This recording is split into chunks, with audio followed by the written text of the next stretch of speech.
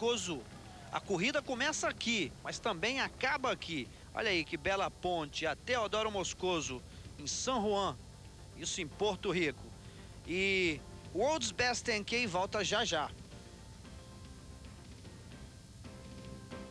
Eles guardavam um ouro, esse forte é o Moro, mas o ouro, o ouro mesmo está aqui, ó, o Canute, que nos cinco primeiros quilômetros ficou atrás, agora começa a chegar na frente, campeão do ano passado. Ele e o Félix Limo. Logo atrás você vê o Paul Targat. E agora o Targat começa a aproximar-se ali e começa a superar o Félix Limo. Você vê, vai chegando do lado ali.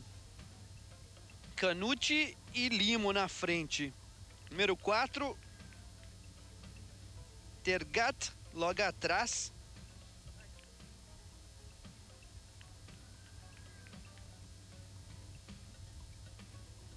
A corrida ficou muito equilibrada, enquanto isso a Kipoglat continua em primeiro lugar, com Helena Maia em segundo. Ela fica só chegando ali para ver se a Helena Maia está se encostar, encostando.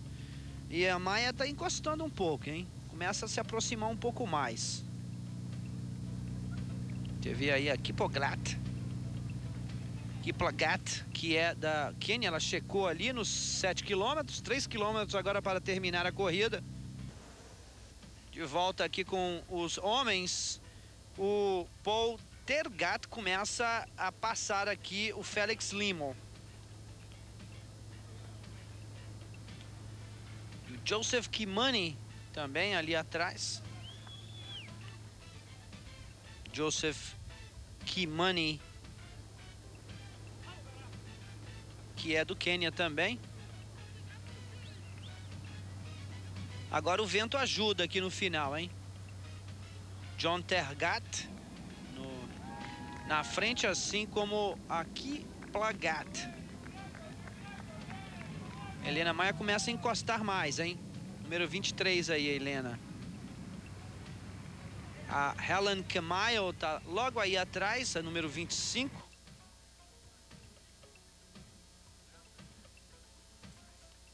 The race is not decided till Helena diz que a tática dela é nos últimos 3 quilômetros está muito perto da líder. E ela quer terminar forte aqui na, nessa corrida. Pelo menos é o plano da, tático dela. Aqui você vê o Limo, número 12, o Kinuti, número 1 e o Tergat, número 4. Os três na frente, hein?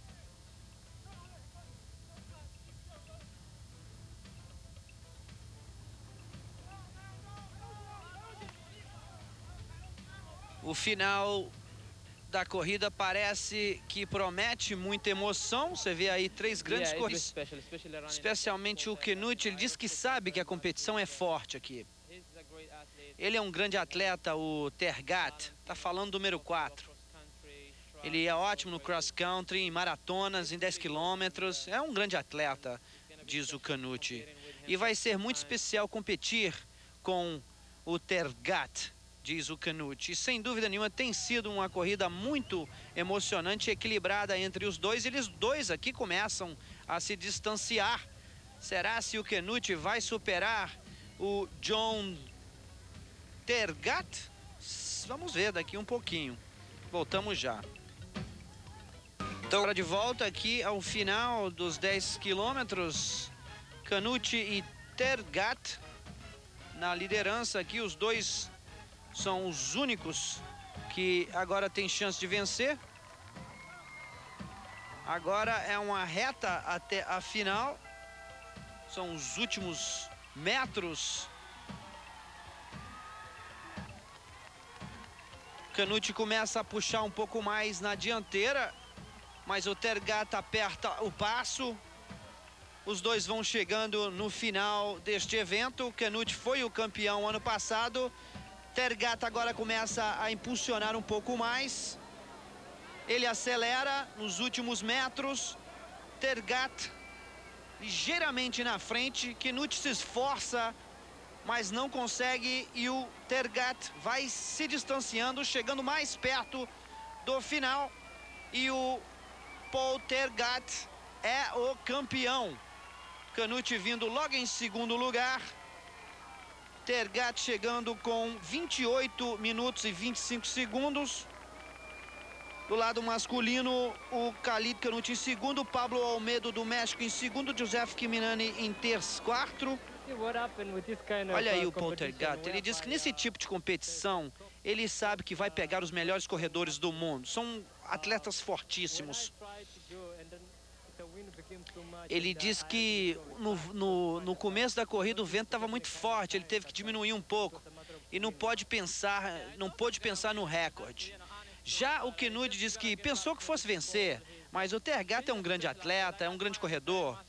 Ele respeita o Tergat e, sem dúvida nenhuma, o Tergat é o tipo de atleta que o inspira, diz Canucci.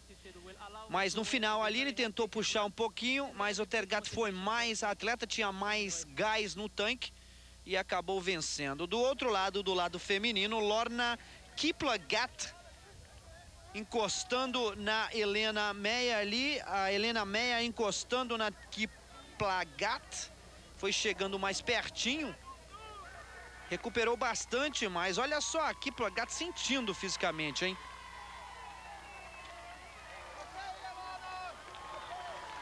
Aí você vê Kiplagat chegando pertinho ali da Kiplagat. E olha aí, a Kiplagat acaba vencendo os 20 mil dólares e a corrida 30 minutos e 08 segundos. Foi o fi tempo final da Kipoglat.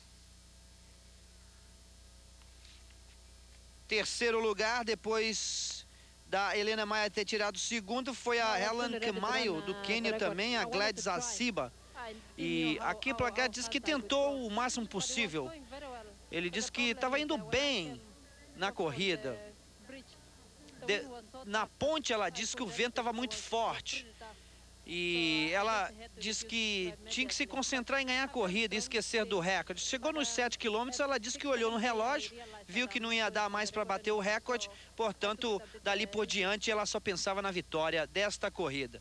Joel Rosário Martins, de Porto Rico, acabou vencendo entre os porto-riquenhos. E a Sandra Arroio Burgos do lado feminino ganhou e recebeu um abraço aí do Rafael Acosta, que é o diretor. Você viu o resultado final do lado masculino. Targat vencendo.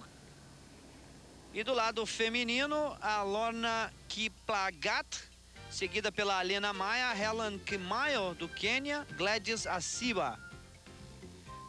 Bem, vamos chegando no final do nosso programa. Jacó Kramer esteve com você pela ESPN, líder mundial em esportes. Bem, The World's Best 10K. Campeão, Paul Targat e a campeã...